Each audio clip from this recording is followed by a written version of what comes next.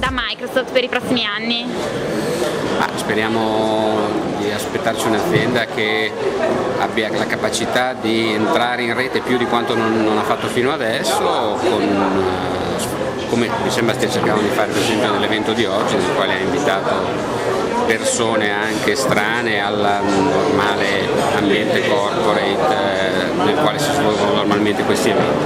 Eh, questo significa anche quindi cominciare a utilizzare tutti gli strumenti che riguardano la condivisione della, della conoscenza, che non hanno comunque nulla in contrasto con la normale politica aziendale della ditta.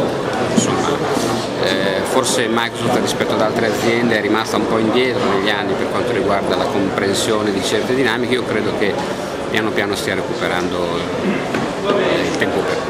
Seguendo abbastanza attentamente l'entrare di Microsoft nell'ambito web con la strategia Silverlight eh, che se vogliamo è il tentativo di Microsoft di imporre tutta la sua forza per contrastare quello che sta diventando le Rich Internet Application e il web oggi e quindi contrastare direttamente Adobe e la sua prevalenza con Flash.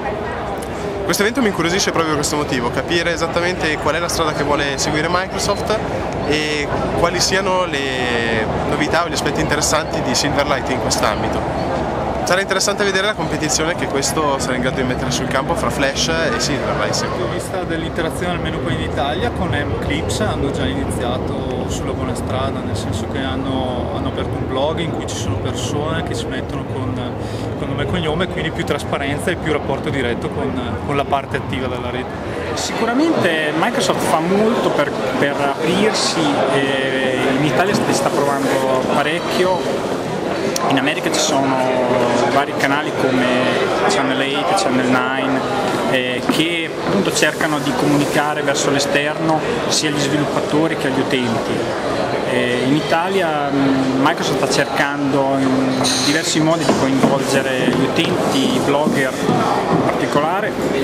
E io personalmente vorrei vedere Microsoft più negli eventi organizzati da altri che solamente aprire i propri eventi, cioè, riuscire a mischiarsi anche per esempio eh, nei barcamp facendo uscire i propri sviluppatori, facendoli parlare con gli utenti, che sicuramente è il modo migliore per arrivare a una comprensione e a un, anche una condivisione dei propri sforzi. Io sinceramente credo che sia veramente difficile per un marchio riuscire a cambiare completamente ehm, cioè, l'idea che, che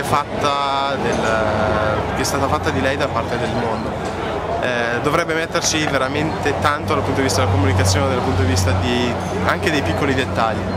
Eh, aprire i blogger in questo senso non credo abbia una reale utilità se non da un punto di vista comunicativo dire guardate ci siamo aperti i blogger sono perplesso, eh, dovrebbero fare una strategia molto più ampia che semplicemente aprire un evento di blogger, peraltro io non sono accreditato blogger quindi, però vabbè, servirebbe proprio una campagna o comunque una strategia a 360 gradi, agire sui singoli punti è utile ma fino a un certo punto, cioè è molto più controproducente soprattutto per quello che è Microsoft oggi. Microsoft ha ovviamente delle grandi opportunità in un mondo in cui è leader perché ancora lo è.